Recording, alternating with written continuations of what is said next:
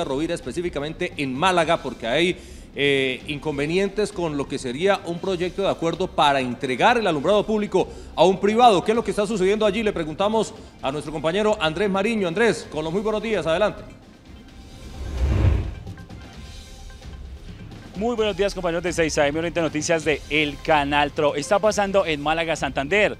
Con bastante inconformidad se encuentra la comunidad malagueña con el proyecto de acuerdo que busca dar facultades al alcalde municipal para que entregue en concesión el alumbrado público al año 2045. Esta iniciativa fue entregada ante el Consejo Municipal a pocos días del cierre de sesión. En Oriente Noticias, Diana Carrero.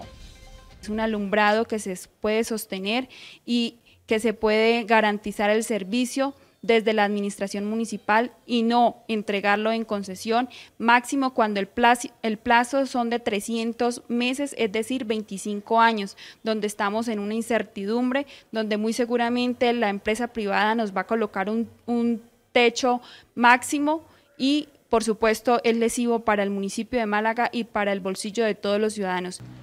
Laura Beatriz Durán, habitante de Málaga, Santander, se siente bastante inconforme con esta iniciativa por parte del alcalde.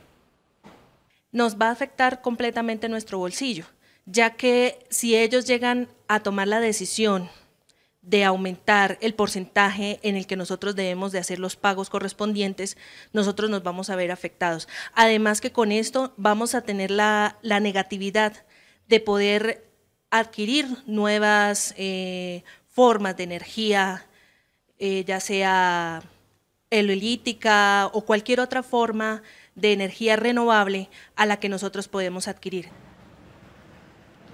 Intentamos conocer la versión por parte de la administración municipal, pero no fue posible. La comunidad busca mecanismos para poder tumbar este proyecto. Es toda la información desde Málaga, Santander. Mi nombre es Andrés Mariño. Muy buenos días. Canaltro.com